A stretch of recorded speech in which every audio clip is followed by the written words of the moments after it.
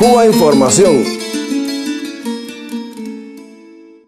No me digan más mentiroso, no me digan más, no me digan más.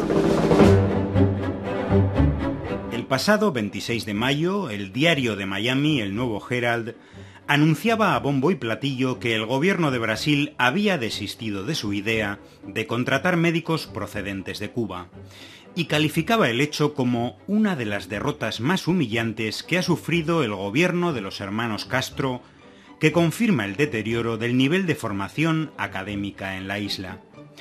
La satisfacción era general en los grandes medios. El socio español del Nuevo Herald, el periódico El País, titulaba Brasil contratará médicos españoles y portugueses en vez de cubanos.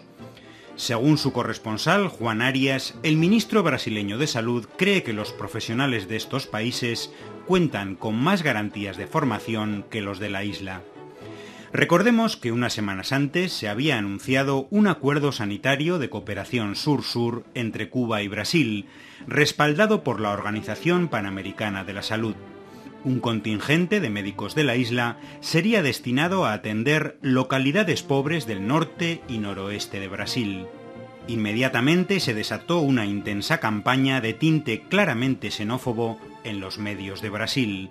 Estos y sus homólogos de Miami, América Latina y Madrid se convirtieron durante días en altavoz propagandístico de la élite médica brasileña, en pie de guerra contra los médicos cubanos. El presidente de la Asociación Médica Brasileña, Florentino Cardoso, los llegó a calificar de escoria. El intenso trabajo de presión mediática y de lobby político de la derecha brasileña contra el gobierno de Dilma Rousseff parecía haber dado sus frutos tras el anuncio en los citados diarios de la ruptura del acuerdo Cuba-Brasil. Pues bien, en agosto dichos medios y las corporaciones médicas brasileñas recibían un jarro de agua fría. Se anunciaba la llegada de los 400 primeros médicos de Cuba a Brasil, de un total de 4.000 en un año. Nada más conocerse la noticia, el diario El País, a través del mismo periodista que había asegurado que el programa médico había quedado suspendido, publicaba hasta cuatro materiales sobre el tema en apenas cinco días, recogiendo las protestas corporativas de las asociaciones médicas brasileñas. En la última de las crónicas, acusaba airadamente al gobierno de Dilma Rousseff de preparar en secreto la llegada de médicos cubanos a su sistema de sanidad. El presidente de la Asociación Médica Brasileña, que había asegurado en numerosas entrevistas de prensa, radio y televisión que Cuba tiene escuelas médicas de pésima calidad, tuvo que tragarse sus palabras. El Ministerio de Educación de Brasil anunciaba que los médicos brasileños formados en Cuba habían obtenido las mejores notas en el examen nacional de reválida de los años 2011 y 2012. Además, se daba a conocer un dato clarificador que desmontaba el discurso corporativo de las asociaciones médicas.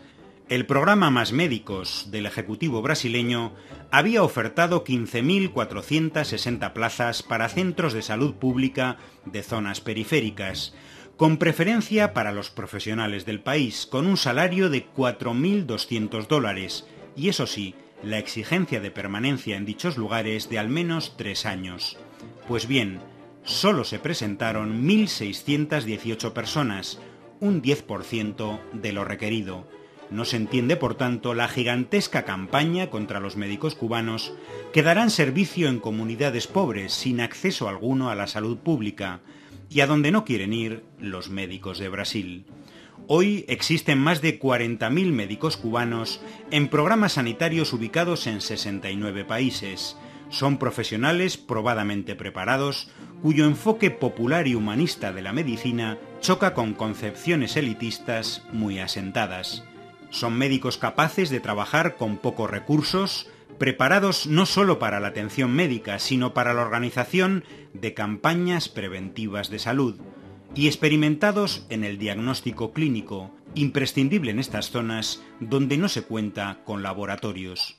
La noticia de la llegada de los primeros médicos de Cuba a Brasil para completar este año un total de 4.000 es una gran victoria para 700 poblaciones de las regiones más pobres del país sudamericano. y una de las derrotas más humillantes que han sufrido la élite médica latinoamericana y grandes medios de comunicación como el Nuevo Herald y El País.